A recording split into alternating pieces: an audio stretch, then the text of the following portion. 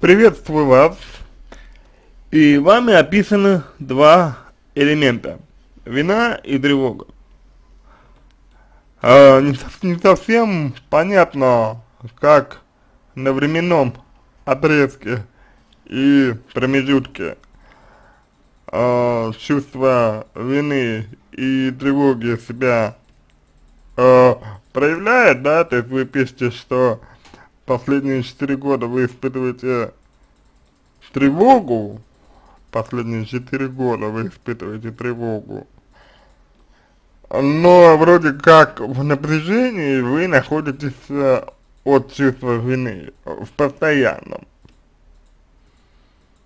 Но постоянно это тоже, на мой взгляд, довольно такая условная история, в том смысле, что когда-то, я уверен, у вас этого не было. Итак, э, первич, первичным чувством является вина. Э, вина отвечает за подавление. Вина отвечает за контроль. Э, вина отвечает по сути за совесть. То есть ваша совестливость это все из чувства вины. А тревога возникает уже э, как результат как результат э, действия э, чувства вины. Значит, избавляться, именно избавляться от чувства вины не нужно, а тут скорее нужно раскрыть его. То есть, Понимаете, а, ведь за чувством вины всегда стоит какая-то мысль. За чувством вины всегда, всегда стоит какая-то история. Например, вы говорите, что а, обвиняете себя, допустим, за то, что вы не можете помочь.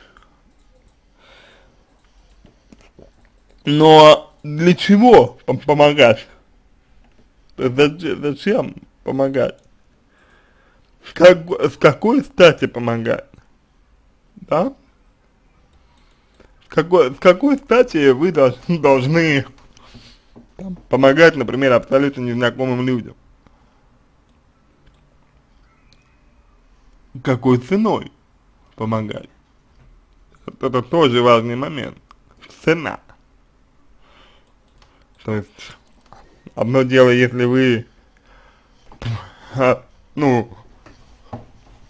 помогаете э, тем, кому можете помочь, да, кто находится в, э, так сказать, доступе вашем.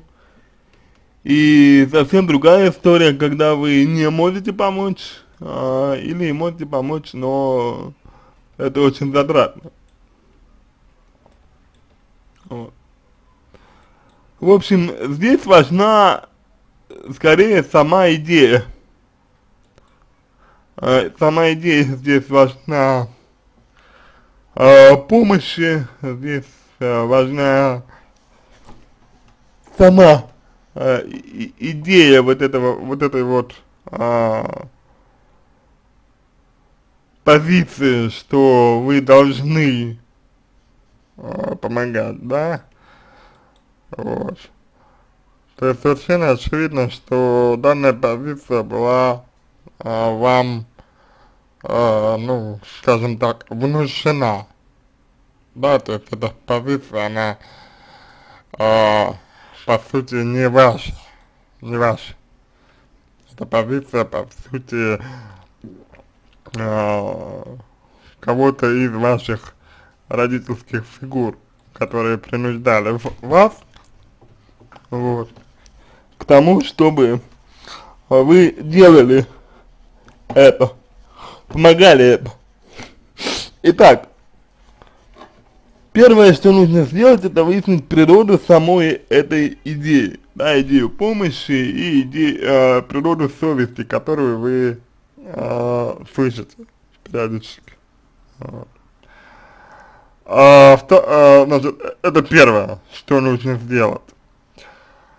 А, второе, что нужно сделать, это а, ответить себе на вопрос о том, для чего это лично мне. Зачем это мне? Зачем мне помогать? То есть, ну, если я помогаю, да, то зачем? Вот. Ну и, соответственно, тут нужно, конечно же, смотреть э, именно историю, да, то есть нужна история, нужна история э, развития вот этого вот э, чувства вины, да, и э, совести. Вот. То есть ты, э, это голос вашего внутреннего родителя надо, должна, обязана. Но кому надо, кому должна, а, почему обязана, это большой вопрос, на, на который вам нужно найти ответ. Да, то есть разобраться, где вот в этом вы сами, ваша личность, а где в этом ваши родители, которые как бы диктуют вам э, в данном, ну, в данном случае, в данный момент, э, что вам делать, что вы должны делать, что, безусловно, является неприемлемым, абсолютно неприемлемым. Вот. Тут нужно отделить, отделить. Вот. Чувство вины вы испытываете на автоматизме. Потому что вы так привыкли, вы привыкли, что это вот э, верный путь, что это единственный путь, что это нужный путь.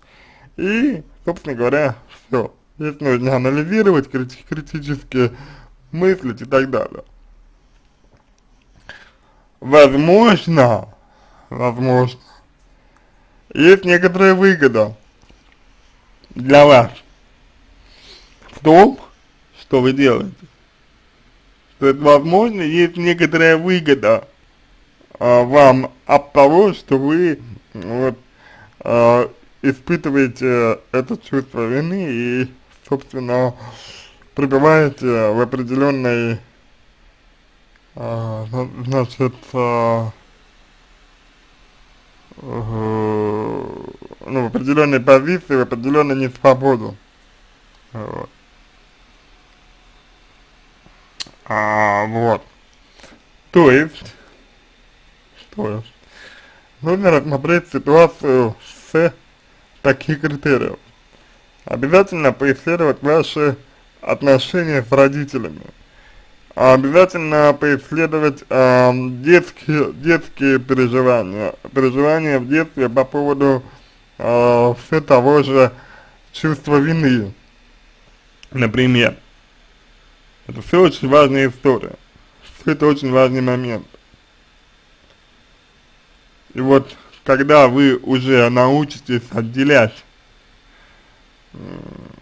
значит, то, что касается вас, и то, что хотите вы и делаете вы, к примеру, от того, что э, хотите не вы, а хотят другие люди с, как, с какими-то своими определенными целями. Вот тогда чувство вины и уйдет. Но с другой стороны, с другой стороны, у вины есть и свои позитивные аспекты. То есть вина это может быть, вина может быть регулятором определенным, вина может быть э, определенным направлением в вашей жизни, вина, э, вина может быть свидетельством того, что вы действительно сделали что-то не так. Поэтому я предлагаю вам не избавляться от вины, а смотреть на ее э, состав, на ее квинтэссенцию, на ее форму. Если в результате чувства вины вы можете сделать какие-то выводы и, и один раз, подкорректировав свое, э, свое поведение больше чувства вины, к примеру, не испытывать, то такого чувства вины, наверное, избавляться все-таки не стоит. Но при условии, если, конечно, вы не наносите себе вред своими, своими выводами, да, то есть, а если вы себе не вредите, здесь, кстати, еще желательно э, определиться с э, понятием вреда и пользы для себя. То есть, что, э, что для меня есть вред мне, и что для меня есть польза мне, мне. Как я это понимаю, грубо говоря. Дальше идем. А, что касается тревоги, да, что касается тревоги, а, то тревога здесь, тревога здесь, это э, скорее, знаете, э, ну, нечто связанное с э, тем же подавлением, то есть для меня ваша тревога это э, свидетельство и следствие того, что испытывая, например, постоянное чувство вины, да, вы, э, условно говоря, э, забываете о себе, условно говоря, вы э, не прислушиваетесь к себе, условно говоря, вы не делаете того, что вам нужно, того, что вы хотите, того, что вам необходимо и так далее. Вот. По факту. По факту. Понимаете? Вот. То есть, обстоятельства вокруг вас, грубо говоря, меняются, а вы сами, грубо говоря, не меняет. Понимаете? Вы сами остаетесь той же. Хотя это прямой вред. Э, ну, прямой вред вам. Это прямой вред вам, потому что как бы неудовлетворенность, которая есть у вас, она копится, копится, копится, копится, копится, и вот в итоге вы чувствуете тревогу. Э, я полагаю, что вам э, также знакомы чувство стыда, то есть непринятие себя, непринятие себя и отрицание э, того, что, ну, является неотъемлемой составной частью вас. Поэтому здесь очень важно, с одной стороны, выявить ваши желания, э, чего вы хотите, отделить э, ваше желание от э, желаний, например, других людей, в частности, ваших родителей, к примеру, вот, а, и посмотреть, а, что именно и почему вы, вы в себе не принимаете, если такая история есть. Ну, а скорее, скорее всего, скорее всего есть, скорее всего это присутствует. Вот. Ну, соответственно, соответственно, а, такие вот аспекты вам необходимо проработать с психологом. И постепенно, учась а, прислушиваться к себе, вырабатывая свои собственные критерии вреда и пользы, вырабатывая свои собственные э, критерии восприятия, да, вы будете не избавляться от вины, как сейчас вам хочется, а скорее вы будете э, использовать, вы, вы будете использовать ее, использовать э, это чувство для себя же, себе же на пользу. Понимаете? Вот. И это будет вам идти только во благо.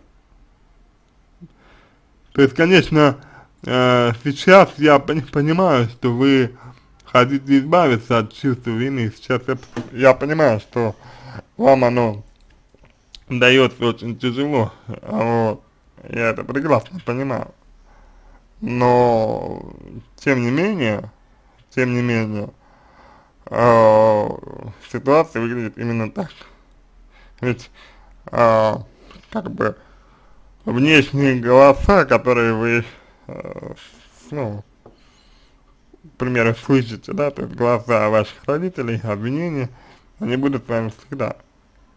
С ними нужно учиться жить. Нужно учиться жить и учиться с ними договариваться. И в этом я могу вам помочь.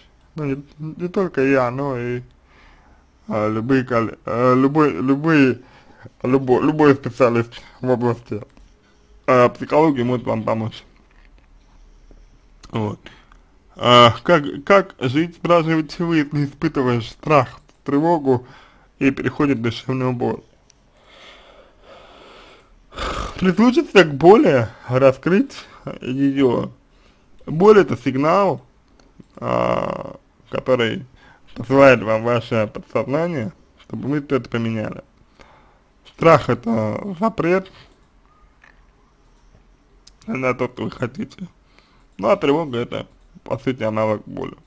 Тревога по сути есть боль. Тревога это такой э, уменьшенный сигнал о том, что вам что-то нужно менять.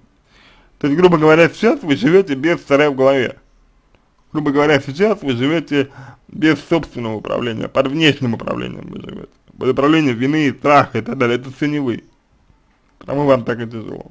Ну, обращайтесь, научим вас жить своей головой, своими чувствами. Научим прислушиваться к, чувств, к чувствам, к желаниям. Вот. Обращайтесь. А если остались вопросы, пишите в личку, буду рад помочь. Если вам понравился мой ответ, буду благодарен, если сделаете его лучшим. А я желаю вам всего самого доброго и удачи. Небольшой по скрипту. А мне показалось, что вы не уверены в себе. Поэтому, а, пожалуй, первое, с чего бы вы могли начать э, перемены в своей жизни, это занятие тем, что вам нравится, э, и от чего бы вы получали для себя исключительно э, э, процессуальное удовольствие.